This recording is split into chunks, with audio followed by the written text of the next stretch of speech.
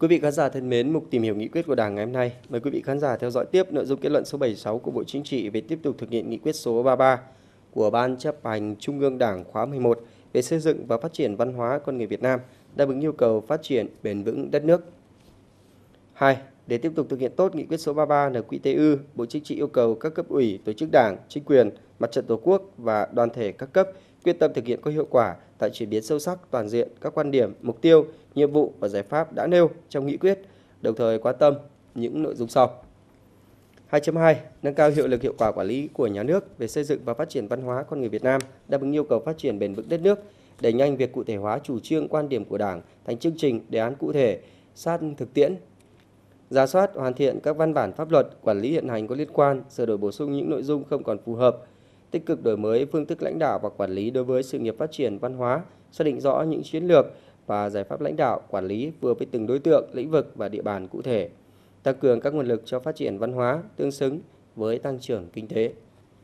2.3. Tập trung xây dựng con người Việt Nam phát triển toàn diện, khẩn trương hoàn thiện việc xây dựng hệ giá trị văn hóa và chuẩn mực con người Việt Nam thời kỳ công nghiệp hóa,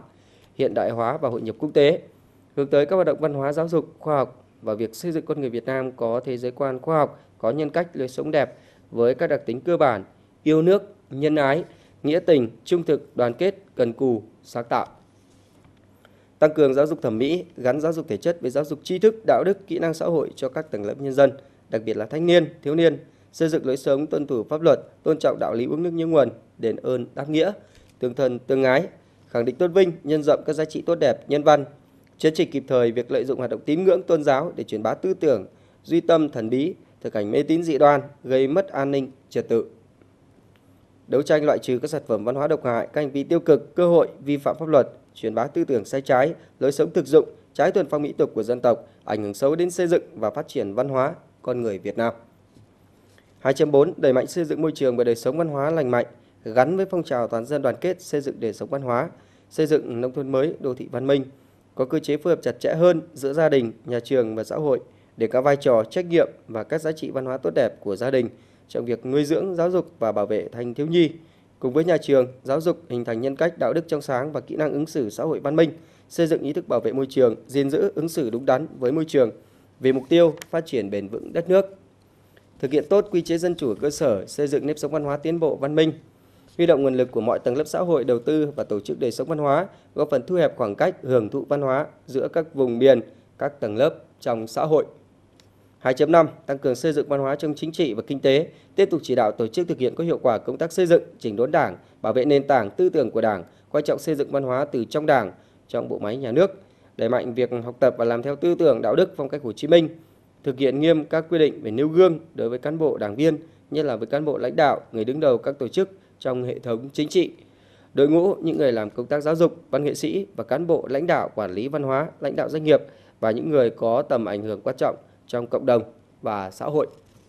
Chủ động phát hiện, đấu tranh ngăn chặn, xử lý nghiêm các biểu hiện suy thoái về tư tưởng chính trị, đạo đức lối sống, tự diễn biến, tự chuyển hóa, hành vi tham nhũng, lãng phí, tiêu cực trong hệ thống chính trị và xã hội. Chú trọng yếu tố văn hóa và con người trong phát triển kinh tế, đẩy mạnh việc triển khai xây dựng văn hóa doanh nghiệp, tinh thần khởi nghiệp, xây dựng đội ngũ doanh nhân giỏi, kinh doanh đúng pháp luật, đóng góp có trách nhiệm cho cộng đồng và xã hội.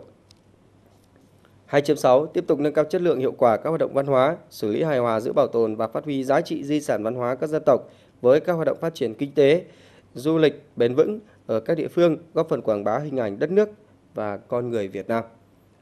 Chú trọng thực hiện các chương trình phục hồi, bảo tồn một số loại hình nghệ thuật truyền thống có nguy cơ mai một, giữ gìn và phát huy di sản văn hóa các dân tộc thiểu số, các giá trị văn hóa trong tôn giáo, tín ngưỡng, tạo điều kiện khuyến khích sự tìm tòi, sáng tạo của đội ngũ văn nghệ sĩ để có nhiều tác phẩm có giá trị tư tưởng, và nghệ thuật. Đổi mới phương thức hoạt động của các hội văn học nghệ thuật, nâng cao tính chuyên nghiệp, đồng thời phát triển sâu rộng văn học nghệ thuật quần chúng, đầu tư nhiều hơn cho hoạt động nghiên cứu lý luận phê bình văn học nghệ thuật, từng bước hoàn thiện hệ thống lý luận văn học nghệ thuật Việt Nam. Tập trung thực hiện quy hoạch và quản lý báo chí toàn quốc. Phát huy vai trò của báo chí, nâng cao hiệu quả hoạt động của các phương tiện thông tin đại chúng, đặc biệt trên môi trường mạng internet. 2.7 tăng cường bảo hộ quyền tác giả, phát triển công nghiệp văn hóa đi đôi với xây dựng hoàn thiện thị trường văn hóa, tạo nhận thức sâu sắc của toàn xã hội về vị trí, vai trò của các ngành công nghiệp văn hóa, phát huy mặt tích cực của cơ chế thị trường, tăng cường và đa dạng hóa các nguồn lực đầu tư để phát triển công nghiệp văn hóa, có giải pháp đồng bộ, tổ chức thực hiện có hiệu quả chiến lược phát triển các ngành công nghiệp văn hóa Việt Nam. 2.8 chủ động hội nhập quốc tế về văn hóa, tiếp thu tinh hoa văn hóa nhân loại và truyền bá văn hóa Việt Nam ra thế giới. Mở rộng giao lưu, hợp tác văn hóa với các nước, đa dạng hóa các hình thức văn hóa đối ngoại, đưa các quan hệ quốc tế về văn hóa đi vào chiều sâu, tạo điều kiện thuận lợi để người Việt Nam ở nước ngoài, các tổ chức quốc tế đầu tư trí tuệ, nguồn lực tham gia phát triển văn hóa, quảng bá hình ảnh đất nước, con người Việt Nam. Các tỉnh ủy, thành ủy và các đảng ủy trực thuộc trung ương tiếp tục chỉ đạo tổ chức thực hiện các nội dung của nghị quyết số 33 NQTU và kết luận này. Mục tìm hiểu nghị quyết của Đảng ngày hôm nay cũng xin được kết thúc tại đây. Cảm ơn quý vị đã dành thời gian quan tâm theo dõi. Xin kính chào và hẹn gặp lại.